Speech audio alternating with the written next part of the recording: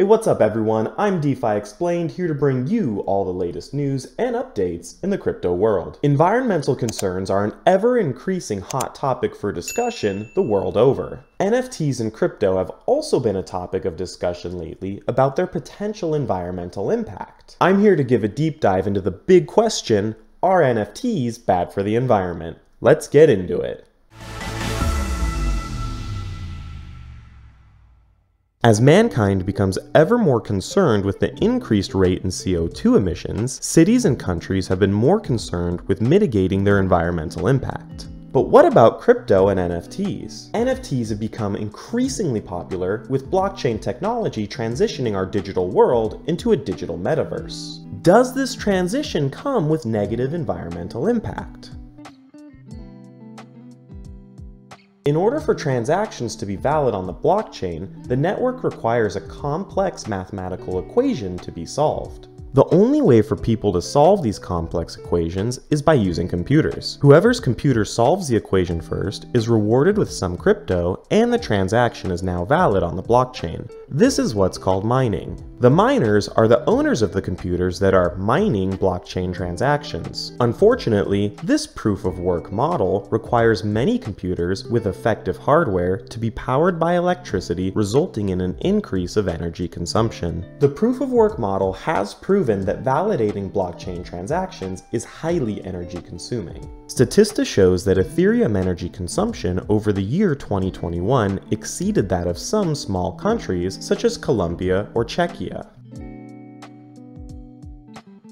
A new form of validating transactions on the blockchain that shows promise of being more environmentally friendly is called proof of stake. Proof of stake takes away the need to have a powerful energy consuming computer that can mine as many transactions as fast as possible, and shifts who gets to mine the transactions to an individual that has staked a large amount of crypto up front. That miner is then designated specific blocks that they're allowed to mine based on how much crypto they staked and their reputation as a reliable miner. Proof of work requires incredibly fast computers that require a significant amount of energy. Proof of stake, on the other hand, slows down this mad race to use the most energy to be the fastest and rewards those with credibility. The Ethereum network is taking steps to transition to this more eco-friendly proof-of-stake model, and even shows in terms of size the energy consumption the Ethereum network uses in the form of buildings. The current proof of work method on Ethereum is the size of the Leaning Tower of Pisa in terms of energy consumption, and under the proof of stake method, the consumption size is that of a standard screw, which is drastically smaller. Let's talk for a second on how Ethereum reducing energy consumption is related to NFTs. OpenSea is the largest NFT marketplace in the world, with $100 million in volume being traded every day. All of these NFTs being bought, sold, and even just listed on the marketplace requires a miner to validate that transaction, which as you can imagine burns a lot in Ethereum gas. All of these transactions under the current proof of work model use energy, which is harmful to the environment. So, when later this year Ethereum switches to a much more energy efficient and environmentally friendly proof of stake model, when NFTs are bought, sold, and listed on marketplaces such as OpenSea, the energy requirements to validate these transactions on the Ethereum blockchain will be reduced drastically. I strongly believe that in order for NFTs and blockchain to really obtain mass adoption, the environmental impact is a factor that must be addressed. Now while we wait for Ethereum to clean up their act, let's talk about Solana.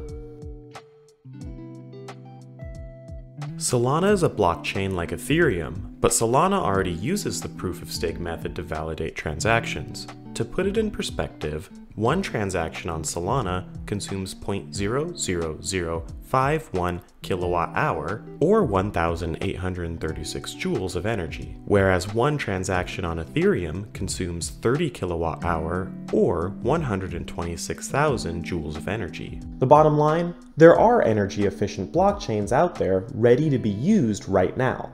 We just need the larger ones like Ethereum to follow suit so they too can reduce their environmental impact. As technology progresses and people find more ways of being efficient, I fully believe that the amount of energy being used on blockchain and NFTs will be drastically reduced in the near future. Alright guys, thanks for watching. Make sure to like and subscribe for more info about all things crypto and blockchain and NFTs. Let me know in the comments below what you think about NFTs and their potential environmental impact. Thanks for watching.